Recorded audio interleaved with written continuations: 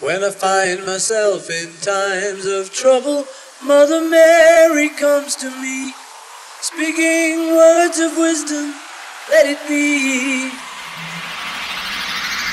In my hour of darkness, she is standing right in front of me, speaking words of wisdom, let it be. Let it be. Let it be. Let it be.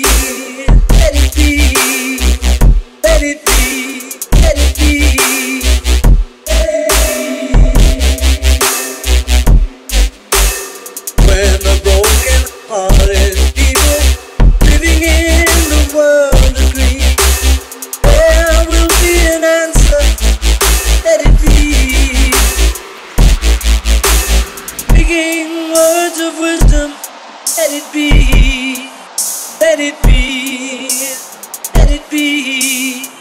it be, let it be, let it be, let it be, let it be, let it be,